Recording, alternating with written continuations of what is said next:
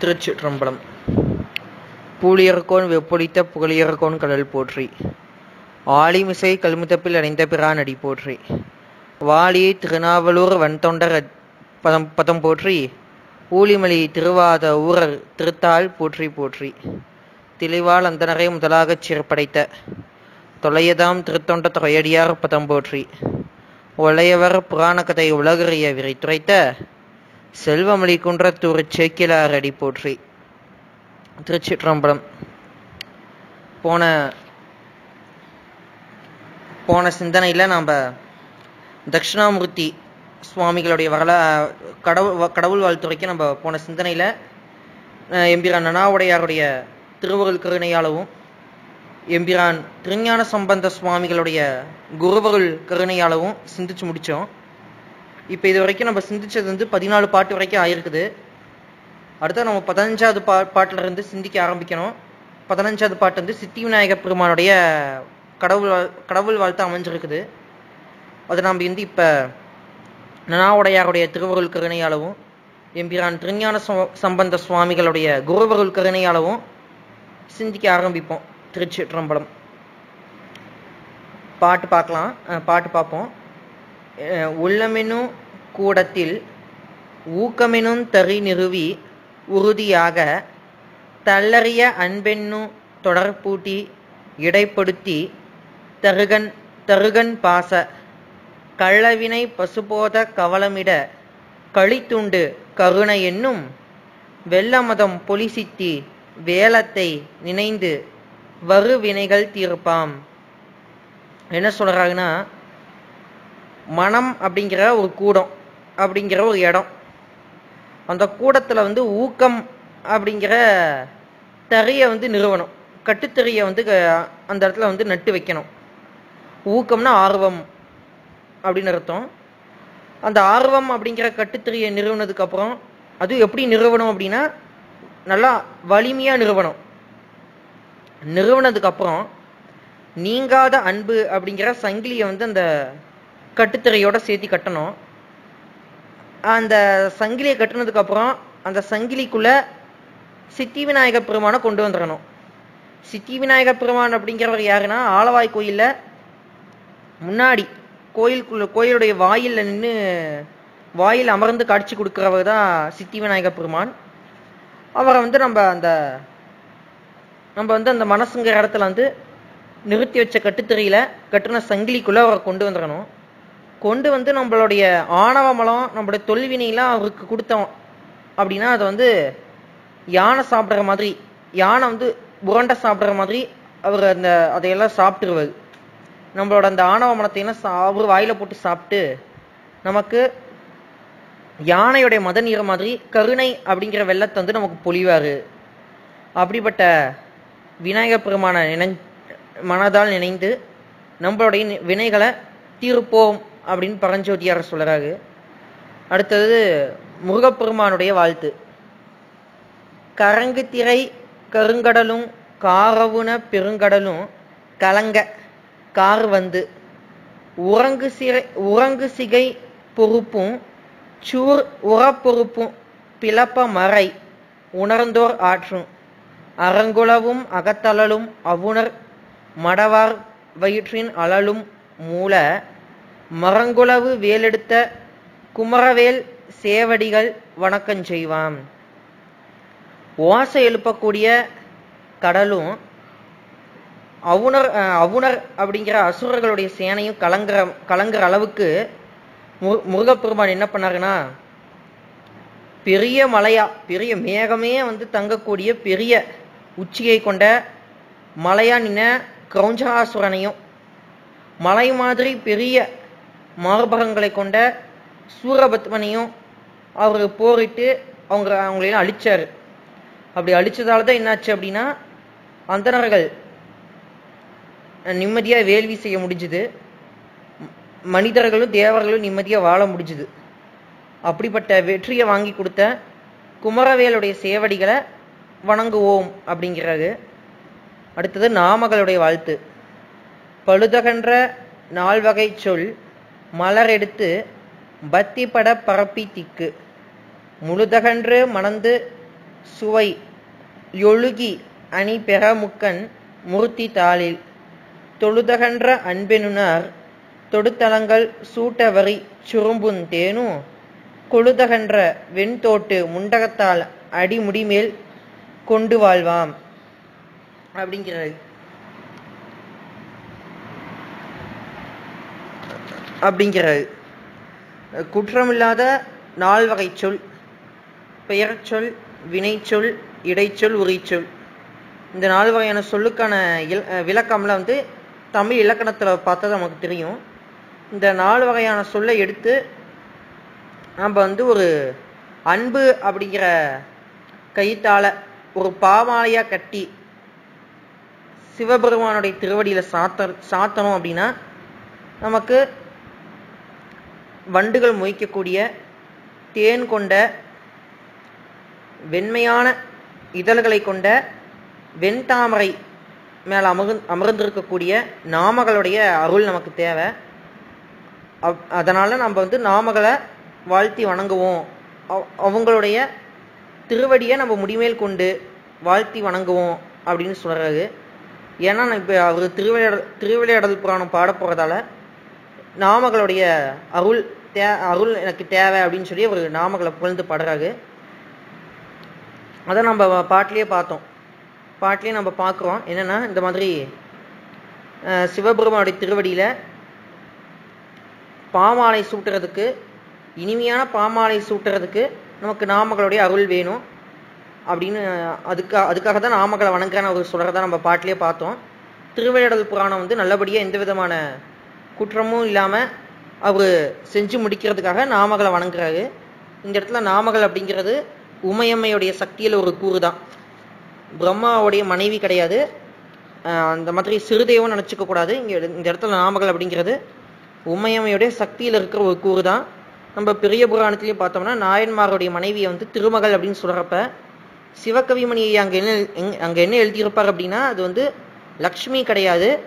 உமையம்மையுடைய சக்தியில் ஒரு கூறாக இருக்கக்கூடிய கூடிய திருமகளை தான் தெய்வ சேக்கிலார் பெருமான் வந்து அந்த இடத்துல திருமகளாக சொல்லராகு அப்படின்னு சொல்லி சிவகவிமணி ஐயா வந்து சொல்லியிருப்பார்.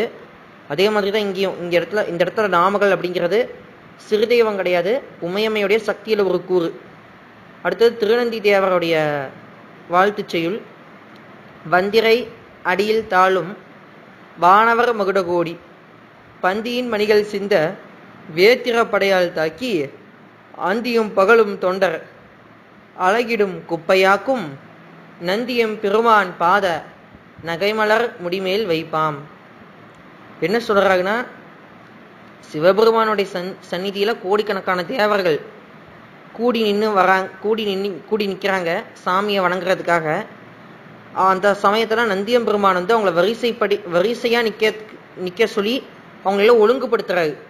கையில் வேத்திரம் அப்படிங்கிற அப்படிங்கிற ஒரு கருவியை வச்சிருக்கிறது. வேத்திரம் அப்படிங்கிறது பெரம்பு தான் அப்படி சொல்கிறாங்க வேத்திரம்னு சொல்கிறாங்க அந்த பெரம்பு பெரம்பை வச்சு தேவர்களையெல்லாம் வந்து அடித்து அவங்களையெல்லாம் வரிசைப்படி நிக் நிற்க சொல்லி ஒழுங்குபடுத்துகிறாரு அப்படி அவங்களையெல்லாம் அடிக்கும்போது என்ன ஆகுதுன்னா அவங்க தலையில் இருக்கக்கூடிய மாணிக்கம் வைரம்லாம் வந்து கீழே உழுது அவங்க அவங்களுடைய மகுடத்தில் அவங்களோட கிரீடம் அப்படிங்கிற மகுடத்திலிருந்து கீழே உழுது கீழே உளுந்தது கீழே உளுந்து அதெல்லாம் தொண்டரை கீழே உளுந்து சாமி சந்நிதி முழுசுதை நிறைஞ்சிருக்குது.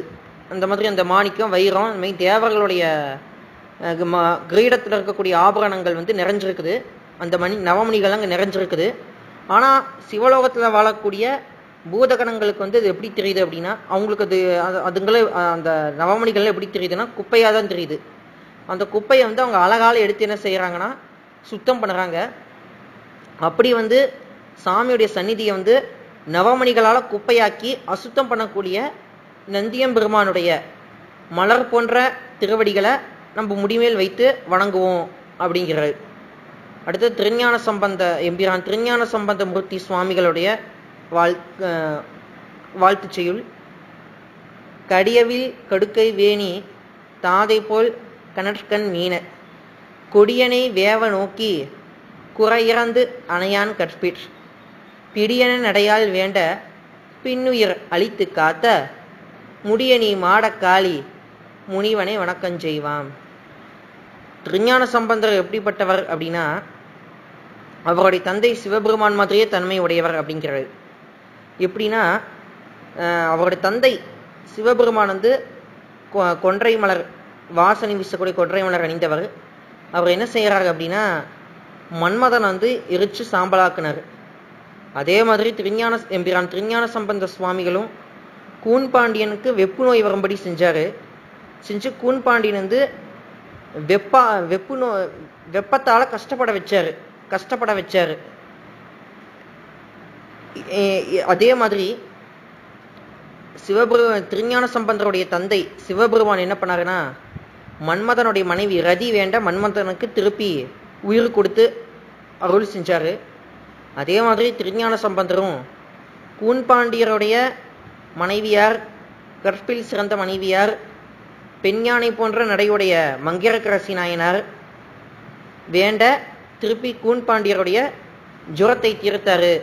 அப்படிங்கிற அதனால் அப்படி ப- திருஞான சம்பந்தர் வந்து அவருடைய தந்தையார் சிவபெருமான் போன்ற தன்மையையும் குணத்தையும் உடையவர் அப்படின்னு சொல்கிறாரு அப்படிப்பட்ட சிவபெருமான் போலவே கூன்பாண்டியனுக்கு வெப்பு நோயை கொடுத்து மங்கையரக்கரசி நாயனார் வேண்டாவிற்கு வெப்பு நோயை நீக்குவிச்ச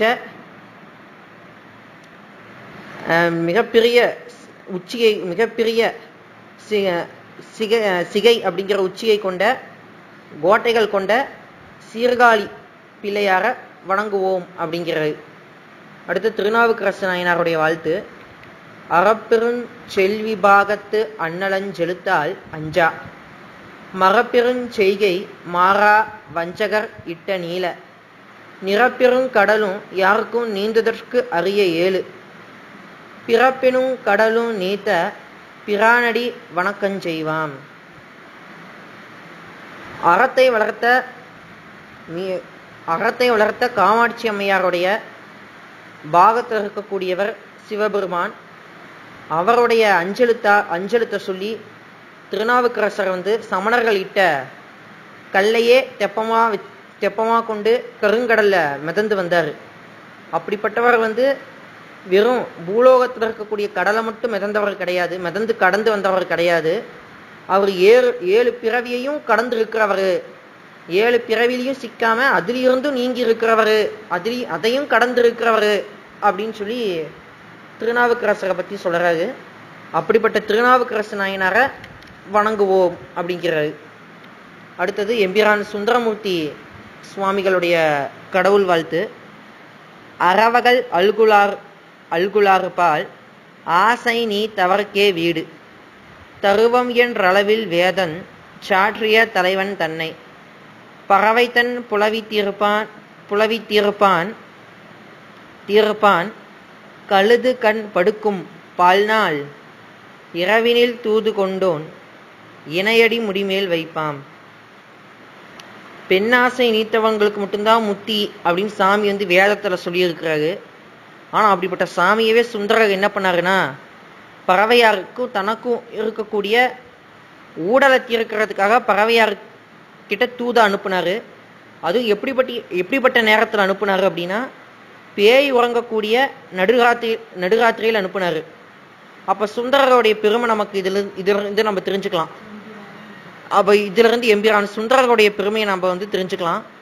பாருங்க சாமி வந்து பெண்ணாசை நீத்தவருக்கு தான் முத்தின்னு சொல்லியிருக்கிறாரு. ஆனால் அப்படிப்பட்ட சாமியவே பறவையார்கிட்ட ஊடலத்தி இருக்கிறதுக்காக அவர் நடுராத்திரியில தூத அனுப்பி இருக்கிறாரு அப்படிப்பட்ட சுந்தரருடைய பெருமையை நம்ம இது அப்படிப்பட்ட சுந்தரருடைய பெருமையை தெரிஞ்சு அவருடைய திருவடிகளை நம்ம முடிமேல் வைத்து வணங்குவோம் அப்படிங்கிறாரு அடுத்தது மான் எம்பிரான் மாணிக்கவாசக சுவாமிகளுடைய திருத்துடி எழுதரு மறைகள் தேரா இறைவனை எல்லில் கங்குல் பொழுதரு காலத்தென்றும் பூசனை விடாது செய்து தொழுதகை தலைமேல் ஏற துழும்பு கண்ணீருள் மூழ்கி அழுதடி அடைந்த அன்பன் அடியவருக்கு அடிமை செய்வாம் அப்படிங்கிறாரு.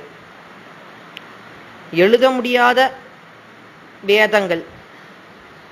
வேதங்களுக்கு எழுத்து வடிவு கிடையாது. அப்படிப்பட்ட வேத வேதங்கள் எவ்வளவோ தேடியும் சிவபெருமான உணர முடியல. அப்படி வேதங்களாலேயே உணர முடியாத சாமியை பகல் இரவு அப்படின்னு பகல் பகல் இரவு அப்படிங்கிற மாதிரி இருக்கக்கூடிய ஆறு வகை காலத்திலையும் இடைவிடா இ- இடையறாமல் பூசனை செஞ்சு அஹ், தலைக்கு மேலே கைகளை உயர்த்தி துளிர்த்து வரக்கூடிய கண்ணீர் வெள்ளத்துல மூழ்கி நெக்கு நெக்கு உருகி சாமியுடைய திருவடி அடைந்த மாணிக்க வாசக பெருமானுடைய அடியாருக்கு அடிமை செய்வாம் அப்படிங்கிறாரு. அவருக்கு தொண்டு செய்வோம்னு சொல்லலை. அவரோட அடியாருக்கு தொண்டு செய்வோம் அப்படிங்கிறாரு. அப்போ மாணிக்க வாசகருடைய அடியாரே தொண்டு அடியாரே மற்றவங்கள தொண்டு செய்கிற அளவுக்கு உயர்ந்தவங்க அப்படின்னா மாணிக்க வாசகருடைய பெருமையை நம்ம வந்து சொல்ல தேவையில்லை. அப்படிப்பட்ட மாணிக்க வாசக பெருமானுடைய அடியாருக்கு நம்ம தொண்டு செய்வோம் அப்படின்னு சொல்லியிருக்கிறார் இதில். அடுத்தது சண்டேஸ்வர நாயனாருடைய திருத்துதி. தந்தை தாளொடும் பிறவி தாளிறைந்து நிறுத்தர் இரு தாளைச் சேர்ந்த. மைந்தரத்தால் வேதநெறி சைவநெறி பத்திநெறி வளாது வாய்மெய் சிந்தைத்தான் அகனடிக்கே செலுத்தினாராய் சிவானுபவ செல்வராகி பந்தமான் தொடக்கறுத்த திருத்தொண்டர் தாழ்பரவி பணிதல் செய்வாம் அப்படிங்கிறாள். இங்கேயும் அதே மாதிரி மாணிக்க வாசகருக்கு சொன்ன மாதிரியே சண்டேஸ்வர நாயனாருடைய திருவடிகளை பக்தி நெறி சைவ நெறி வேத நெறி இந்த மூணு நெறியாலையும் நம்ம எந்தவித குற்றமும் செய்யாமல் மனமொழி மெய்களால் வணங்கி சிவபெருமானுடைய திருவடியில் சிந்தையை செலுத்தி பாசத்தை நீக்கின தொண்டர்களுடைய திருவடியை வணங்குவோம் அப்படிங்கிற எச்சதத்தனுடைய காலை வெட்டி அதே சமயத்தில் பிறவியையும் வெட்டி சிவபெருமானுடைய திருவடி அடைந்தவர் சண்டேஸ்வர நாயனார் அவருடைய திருவடிகளை வேதநெறி சைவநெறி பக்தி நெறி இந்த மூணு நெறியாலையும் எந்த விதமான தவறும் செய்யாமல் மனமொழி மெய்களால் அவருடைய தாளை வணங்கி அதுக்கப்புறம் சிவபெருமானுடைய திருவடியில் சிந்தையை செலுத்தி சிவானந்தத்தை அனுபவித்து ஆணவ மலத்தை விட்டு நீங்கிய திருத்தொண்டருடைய தாள்களை பணிவோம் அப்படின்னு அவர் சொல்கிறாரு அப்போ சண்டேஸ்வர நாயனாரை வணங்கி சிவ சிவ சிந்தனையில் மனசை செலுத்தின தொண்டர்களை தொண்டர்களையே வணங்க மற்றவங்கள வணங்கணும் அப்படின்னா அந்த அளவுக்கு மற்றவங்க வணங்குற அளவுக்கு அப்படி அந்த தொண்டர்களே உயர்ந்தவங்க அப்படின்னா சண்டேஸ்வர நாயனாருடைய பெருமையை நம்ம வந்து நம்மளால் சொல்ல முடியாது. அவர் அவ்வளோ பெரிய அவ்வளோ பெரியவர் அப்படின்னு நமக்கு இது இதிலிருந்து தெரியுது. அப்படிப்பட்ட சண்டேஸ்வர நாயனாருடைய தொண்டரை வணங் வணங்குவோம் அப்படின்னு ஒரு சொல்கிறாரு இதோட நமக்கு வந்து இருபத்தி மூன்று பாடல்கள் ஆகுது. இதோட நமக்கு கடவுள் வாழ்த்து பகுதியும் முடியுது. அடுத்தது பாயிரம் அப்படிங்கிற பகுதியை நம்ம பார்க்குறோம். பாயிரம் அப்படிங்கிறது என்னென்னா எல்லா நூலுக்கும் முதல்ல இருக்கக்கூடிய அறிமுகம் அப்படிங்கிறதா பாயிரம். இன்னைக்கு நம்ம ஒரு புத்தகம் எடுத்துட்டோம்னா அந்த புத்தகத்துக்கு முன்னாடி முன்னுரை அப்படின்னு இருக்கும். இந்த நூல் எழுதினவர் ஆசிரியர் யார்? அவர் எந்த நோக்கத்துக்காக இந்த நூல் எழுதினார்? இந்த நூல் அவருக்கு எழுதுறதுக்கு யார் ஊக்குவிச்சா? இந்த நூலை வந்து அவர் எதுக்காக இந்த நூல் வந்து எழுதுறதுக்கு அவருக்கு என்- எது எதெல்லாம் அவருக்கு துணை செஞ்சுது? அப்படிங் அப்படிங்கிறதெல்லாம் அப்படிங்கிறதெல்லாமே அந்த முன்னுரையில சொல்லியிருப்பாங்க. இன்னைக்கு நம்ம எந்த நூல் எடுத்தாலுமே அந்த மாதிரி முன்னுரை பகுதின்னு ஒன்று இருக்கும். அந்த ஆசிரியர் வந்து அவருடைய அனுபவத்தை சொல்லியிருப்பாரு. அல்லது அந்த பதிப்பிச்சவங்க வந்து அந்த ஆசிரியரை பத்தியோ அந்த ஆசிரியரை பத்தியும் அந்த நூலை பத்தியும் அந்த நூலில் இருக்க கருத்தை பத்தியும் சொல்லியிருப்பாங்க. அந்த மாதிரி அந்த காலத்துல வந்து எந்த- நம்ம எந்த நூல் எடுத்துக்கிட்டாலும் அதுக்கு முன்னுரை அப்படிங்கிறது பெரும்பாலும் கண்டிப்பா இருக்கும். அந்த முன்னுரைக்கு தான் பாயிரம் அப்படின்னு பேரு. அந்த பாயிரத்துல வந்து இப்ப இருக்கிற நூல்களில் இருக்கிற முன்னு இப்ப இருக்கிற நூல்களில் எழுதியிருக்கிற முன்னுரை மாதிரியே நூல் ஆசிரியர் வந்து எதுக்காக நூல் எழுதினாரு? அவருக்கு துணை செஞ்ச நூல் எது எது? இதை பற்றிய செய்தியெல்லாம் இருக்கும். நமக்கு இருக்கிற திருவிளையாடல் புராணத்துல நமக்கு இருக்கிற பாயிரத்துல வந்து அந்த நூல் பற்றிய செய்திகள்லாம் நமக்கு இருக்குது. நம்ம அந்த பாயிரத்தை நம்ம சிந்திப்போம். பாயிரத்துல முதல் பாட்டு. இந்த முதல் பாட்டுல என்ன சொல்றாங்கன்னா இந்த நூல் எந்த நூலை ஆதாரமா வச்சு எழுதப்பட்டது அப்படின்னு சொல்றாரு.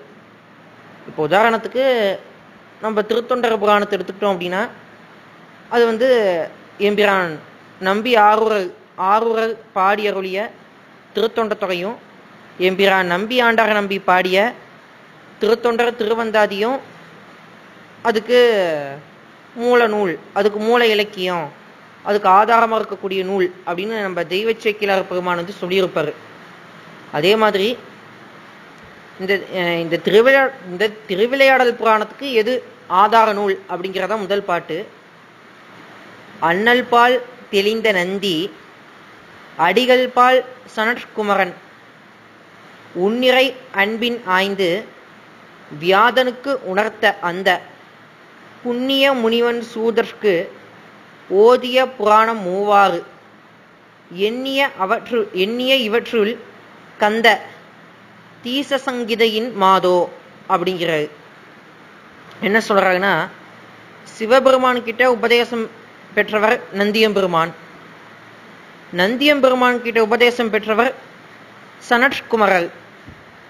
சனட்குமரல் கிட்ட உபதேசம் பெற்றவர் சனட்குமரல் கிட்ட மனதால் நிறைந்த அன்போடு அவர் சனட்குமரல் கிட்ட பாடம் கேட்டவர் வியாத முனிவர். வியாச முனிவர் அப்படிங்கிற வியாத முனிவர்.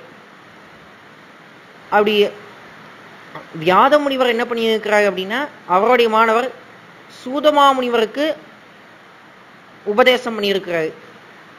அப்படி சூதமா முனிவர் வந்து நமக்கெல்லாம் உப வியாதமா வியாசமா முனிவர்கிட்ட உபதேசம் பெற்ற சூதமா முனிவர் நம்ம நம்மளே மாதிரி உயிர்களுக்கு உபதே உபதேசம் பண்ணதுதான் பதினேன் புராணம். அந்த பதினேன் புராணத்துல இருக்கக்கூடிய கந்த புராணத்துல இருக்கக்கூடிய சங்கர சங்கீதை அப்படிங்கிற நூல் தான் இந்த திருவிளையாடல் புராணத்துக்கு ஆதார நூல் அப்படின்னு சொல்லி சொல்றாரு. அந்த நூல்ல சாமி செஞ்ச திருவிளையாடல்கள் அறுபத்தி நாலும் சொல்லப்பட்டிருக்குது. அந்த நூலை ஆதாரமா வச்சுதான் இந்த நூல் நான் எழுதுறேன் அப்படின்னு பரஞ்சோதியார் சொல்றாரு. பாருங்க சிவபெருமான் வந்து பதினேழு புராணத்தையும் நந்தியம்பெருமானுக்கு உபதேசம் பண்ணாரு. நந்தியம்பெருமான் சனத்குமரருக்கு உபதேசம் பண்ணாரு. சனத்குமரர் வந்து தன்னை அன்போடு வழிபாடு செஞ்ச வியாசமாமுனிவருக்கு உபதேசம் பண்ணாரு. வியாசமாமுனிவர் வந்து சூதமாமுனிவருக்கு உபதேசம் பண்ணாரு. சூதமாமுனிவர் வந்து நமக்கெல்லாம் உலகத்தில் இருக்கிற உயிரெல்லாம் தெரிஞ்சுக்கணும் அப்படிங்கிறதுக்காக அவருடைய சீடருக்கும் மற்றவங்களுக்கும் வந்து இந்த பதினேழு புராணங்களை உபதேசம் பண்ணியிருக்கு பண்ணியிருக்கிறாரு. அப்படி சூதமாமுனிவரை நமக்கெல்லாம் உபதேசம் பண்ண பதினேழு புராணத்தில் இருக்கக்கூடிய கந்த புராணத்தில் இருக்கக்கூடிய சங்கர சங்கீதை அப்படிங்கிற அப்படிங்கிற ஒரு சின்ன பகுதி தான் இந்த நூலுக்கு முதல் நூல் அப்படிங்கிறாரு அடுத்த பாடலை வந்து இந்த நூல் ஏன் பரஞ்சோதியார் நம் நமக்காக செஞ்சு தந்த செஞ்சு செஞ்சு தந்தாரு அப்படிங்கிறதுக்கான காரணத்தை சொல்லுது. அரைந்திடப்பட்டதாகும் ஆளவாய் புகழ்மை அந்த. சிறந்திடும் வடநூல் தன்னை தென்சொலால் செய்தி என்றிங்கு உறைந்திடும் பெரியோர் கூற கடைப்பில துருதி இந்த. பிறந்திடும் பிறப்பில் எய்த பெருதும் என்றுள்ளந்தேரோ அப்படிங்கிறாரு. அப்படி வந்து சமஸ்கிருதத்தில் சொல்லப்பட்ட இந்த ஆளவாய் தலபுராணத்தை தமிழ் மொழியால் நீங்கள் செஞ்சு கொடுக்கணும் அப்படின்னு சொல்லி மீனாட்சி அம்மையார் கனவுல வந்து எனக்கு சொன்னாங்க. இந்த பாடலில் இருக்கக்கூடிய பெரியோர் அப்படின்னா நம்ம மீனாட்சி அம்மையாரை வச்சுக்கலாம். ஏன்னா வந்து நமக்கு செவி வழி செய்தி எப்படின்னா மீனாட்சி அம்மையார் வந்து கனவுல வந்து சொன்னார் சொன்னாங்க. பரஞ்சோதி முனிவருக்கு இந்த மாதிரி நான் நாம் செஞ்ச திருவிளையாடல்களை வந்து தமிழில் எழுதி கொடுக்கணும்னு பரஞ்சோதி முனிவருக்கு சொன்னதால தான் பரஞ்சோதியார் வந்து திருவிளையாடல் புராணத்தை தமிழில் எழுதினார் அப்படிங்கிற செய்தி நமக்கு இருக்குது. அதனால் பாடலில் இருக்கக்கூடிய பெரியோர் அப்படிங்கிற சொல்லுக்கு நம்ம அங் எம்பிராட்டி அங்கையல்கண்ணி அம்மையாரை நம்ம வச்சுக்கலாம். அப்படி வந்து அங்கையல்க அங்கையல்கண்ணி அம்மையார் வந்து இந்த மாதிரி வடமொழியில் இருக்கக்கூடிய மதுரையுடைய பெருமையை வந்து தமிழால் செய்து செய் அப்படின்னு அவங்க சொன்னதால் அந்த உத்தரவை சிறமேல் தாங்கி இந்த பிறவியிலேயே நாம் வந்து இந்த பிறவிலேயே நம்ம வந்து பிறவா நெறியாக இருக்கக்கூடிய முத்திய பெற்றலாம் அப்படின்னு ஆசைப்பட்டு பரஞ்சோதியார் வந்து செஞ்சாரு அப்படின்னு அவர் சொல்கிறாரு இந்த மாதிரி மீனாட்சி அம்மையார் வந்து சொல்கிறாங்க இந்த மாதிரி சமஸ்கிருதத்தில் இருக்கக்கூடிய ஆலவாய் தலபுராணத்தை தமிழை பாடணும்னு சொல்கிறாங்க அதை கேட்ட பரஞ்சோதியார் வந்து நம்ம இந்த பிறவிலேயே நம்ம பிறவா நெறியா இருக்கக்கூடிய முத்தி அடைஞ்சிடலாம் அப்படின்னு ஆசைப்பட்டு அந்த உத்தரவை சிறமேல் தாங்கி இந்த நூலை யாத்தார் அப்படின்னு அவர் பரஞ்சோதியார் வந்து இந்த பாடலில் சொல்கிறாரு அடுத்தது மொழிபெயர்த்த முறை பற்றி சொல்கிறாரு அப்படி சமஸ்கிருதத்தில் இருக்கக்கூடிய ஆளவாய் தல விசேடத்தை சொல்லக்கூடிய புராணத்தை எப்படி எப்படிலாம் பகுதியா பிரிச்சு நம்ம பரஞ்சோதியார் வந்து நமக்கு தமிழில் கொடுத்துருக்கிறாரு அப்படிங்கிறத அடுத்த பாடு அடுத்த பாடல். திருநகர் திருத்தம் மூர்த்தி சிறப்பு. மூன்று அந்த மூர்த்தி. அருள்விளையாடல் எட்டெட்டு அருச்சனை வினையுன்றாக. வரன்முறை அறுபத்தெட்டாம் மற்றவை படலமாக விரைமுறை விருத்தச் செய்யுள் வகைமையால் விளம்பலுற்றேன் அப்படிங்கிற இப்படி வந்து இதுக்கு முன்னாடி பாட்டில் வந்து எதுக்காக இந்த நூல் எழுதுன எ- எழுதுனேன் அப்படிங்கிறதுக்கான எதுக்காக இந்த நூல் எழுதினார் அப்படிங்கிறதுக்கான காரணத்தை சொன்னார். அடுத்தது அப்படி இந்த நூல் வ நூலை வந்து வடமொழியிலிருந்து வடமொழியில் இருக்கக்கூடிய நூலை தழுவி எழுதும்போது எப்படி அந்த வடமொழியில் இருக்கக்கூடிய நூலை வந்து எந்த மாதிரி தமிழ் படுத்தி எழுதியிருக்கிறார் அப்படிங்கிறத அடுத்த பாடல். திருநகர் திருத்தம் மூர்த்தி. தல விசேடம். அது ஒரு தனி படலமா அமைஞ்சிருக்குது அப்படிங்கிறாரு. அடுத்தது தீர்த்த விசேடம். அது ஒரு தனி பகுதி அமைஞ்சிருக்குது அப்படிங்கிறாரு. மூர்த்தி விசேடம். அது ஒரு தனியாக அமைஞ்சிருக்குது அப்படிங்கிறாரு. அப்படிங்கிற அந்த மூணு படலம் தனியாக இருக்குது. அதுக்கு அடுத்தது சோமசுந்தர பெருமான் செஞ்ச திருவிளையாடல்கள் அறுபத்து நான்கு. அந்த அறுபத்து நான்கும் ஒவ்வொன்றும் அந்த அறுபத்தி நாலில் ஒவ்வொன்றும் ஒவ்வொரு படலமாக அமைஞ்சிருக்குது. அடுத்தது அர்ச்சனை படலம் அப்படின்னு தனியாக ஒன்று இருக்குது. அறுபத்தி நாலு திருவிளையா திருவிளையாடலோட திருவிளையாடலோட இந்த நூல் முடியல. அறுபத்தி நா அறுபத்தி நான்கு திருவிளையாடலுக்கு அப்புறம் அர்ச்சனை படலம் அப்படின்னு ஒன்று இருக்குது. அந்த அந்த அர்ச்சனை படலம் ஒன்று இருக்குது. இந்த இந்த அர்ச்சனை படலம் தான் கடைசி படலம். இந்த அர்ச்சனை படலத்தோட சேர்த்து மொத்தம் அறுபத்தெட்டு படலங்கள் இந்த நூலில் இருக்கிறதா அவர் சொல்கிறாரு இப்படி இந்த மாதிரி வடமொழியில் இருக்கக்கூடிய ஆலவாய் புராணத்தை வந்து திரு ஆலவாய் புராணத்தை வந்து தமிழில் வந்து இந்த மாதிரி திருநகர் சிறப்பு தீர்த்த சிறப்பு மூர்த்தி சிறப்பு அப்படின்னு மூணு படலமாக வச்சு அதுக்கப்புறம் அறுபத்தி நாலு திருவிளையாடலையும் அறுபத்தி நாலு படலமாக வச்சு அர்ச்சனை படலம் அப்படிங்கிற ஒன்றையும் கடைசி படலமாக வச்சு அந்த வடமொழி நூலை தழுவி தமிழை எழுதியிருக்கிறத எழுதியிருக்கிறதா அவர் சொல்கிறாரு அதுக்கடுத்தது இந்த நூலோட யாப்பு என்ன அப்படின்னு பார்த்தீங்கன்னா விருத்த செய்யுள் அப்படிங்கிற இந்த இந்த நூலை வந்து இப்படி இனிமேல் ப ப அறுபத்தெட்டு படதங்களாக பிரித்து இதை வந்து விருத்தப்பா அப்படிங்கிற பாவகையால் அமைச்சிருக்கிறேன் அப்படின்னு சொல்லி சொல்கிறாரு அப்படி விருத்தப்பாங்க பாவகையால் அமைச்சு இனிமேல் செய்திகளை விரிவாக பின்னாடி சொல்லுவேன் அப்படிங்கிறாரு.